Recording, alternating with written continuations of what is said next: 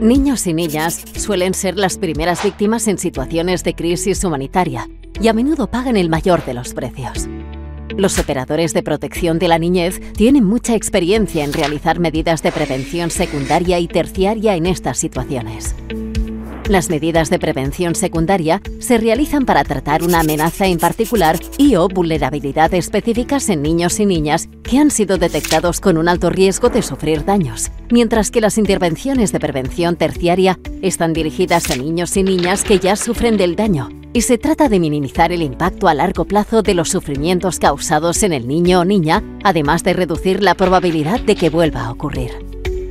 Sin embargo, se ha realizado una inversión insuficiente en prevención primaria. La prevención primaria previene el daño antes de que suceda a gran escala al abordar las causas fundamentales del daño a nivel de la población. Las siguientes tres razones explican por qué es crítico realizar medidas de prevención primaria en situaciones humanitarias. En primer lugar, tenemos una responsabilidad ética de prevenir el daño en niños y niñas siempre que sea posible es inapropiado y tampoco está el interés del niño o niña esperar a que ocurra un daño que es prevenible para que tomemos acción.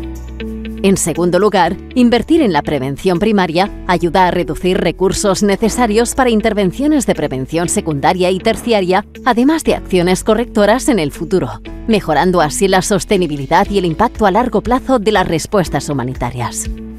Finalmente, la prevención primaria consigue mejores resultados en relación coste-eficacia de las intervenciones de protección de la niñez, permitiendo mayor rendimiento de los recursos.